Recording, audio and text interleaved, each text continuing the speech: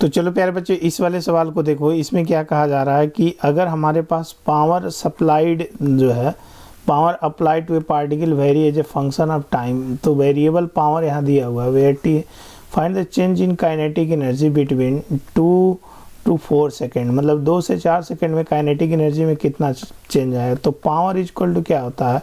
Rate of doing work D W over D T और अगर तुम देखोगे जो डी ओवर डी टी है वर्क डन जो है, वो चेंज इन काइनेटिक एनर्जी के बराबर आ जाएगा, ठीक ना? चेंज इन काइनेटिक एनर्जी को मैं ई e से डिनोट कर देता हूँ। तो यहाँ से जो power P T D T आ जाएगा दैट इज़ ए डी और change in kinetic energy delta कैसे इसको डिनोट कर दो? ठीक ना? डेल्टा काइनेटिक एनर्जी यहाँ से ये डी यहाँ से तुम इसको डी और ए डी टी लिख दो। ठीक है ना काइनेटिक एनर्जी के ही लिख देंगे, ज़्यादा अच्छा लगेगा। तो यहाँ से तुम देखोगे बेसिकली एक मिनट यहाँ से तुम देखोगे ए डी टी उधर चला गया ना। तो यहाँ से तुम इसको बड़े आराम से लिख सकते हो डी और काइनेटिक एनर्जी ये वाली चेंज ठीक है? अब यहाँ से जो डी और काइनेटिक एनर्जी में जो चेंज आएगा, यहाँ से काइनेटिक एनर्जी वो तो हमें चाहिए ही चाहिए।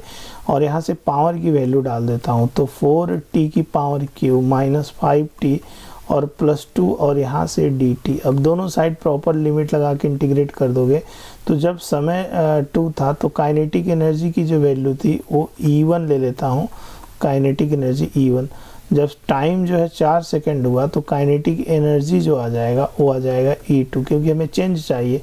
तो इधर जो बचेगा, वो काइनेटिक एनर्जी डेल्टा के समझ रहे ना? ऐसे इधर जो बचेगा डेल्टा काइनेटिक मतलब kinetic energy of two minus kinetic energy one इधर बचेगा। और इधर बचेगा, जब इसको इंटीग्रेट करोगे तो यह आ जाएगा फोर और टी की पावर फोर और divided by four minus five T square divided by two plus यहाँ से टू टी और यहाँ सब पे लिमिट चढ़ेगा टू से फोर तक। तो जब इसको पूरा फर्दर सॉल्व करो, ठीक ना? चलो इसको सॉल्व कर ही देते हैं। तो इधर बचेगा चेंज इन काइनेटिक एनर्जी और इधर ये फोर फोर इसे कट गया और लिमिट फोर डालो यहाँ से। तो फोर का अगर यहाँ से फोर को फोर टाइम्स मल्टीप्लाई करो तो टू फिफ्टी सिक्स आएगा और माइनस फाइव बाई टू और यहाँ सिक्सटीन आ जाएगा और यहाँ से आ जाएगा एट फोर लिमिट डाले। अब टू लिमिट डालोगे तो माइनस साइन लगाओ और टू के फोर टाइम्स मल्टीप्लाई करोगे तो आ जाएगा सिक्सटीन और ये माइनस यहाँ से टू को मल्टीप्लाई करोगे यहाँ से तो फाइव बाई टू तो था ही और ये टू का ये एट आ जाएगा, ठीक है ना? टू का यहाँ स्क्वायर जो है यहाँ से टू का जो स्क्वायर देखोगे यहाँ से तो ये टू का स्क्वायर यहाँ सॉरी यहाँ फोर आ जाएगा।